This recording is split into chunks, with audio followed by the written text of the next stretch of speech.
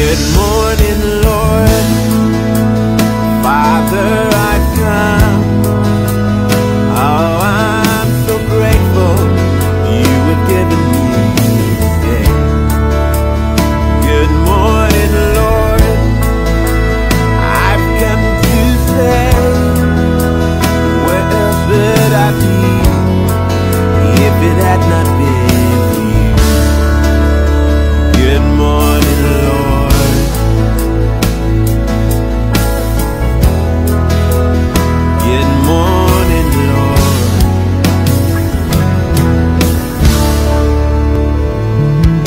a new day to sing your praise.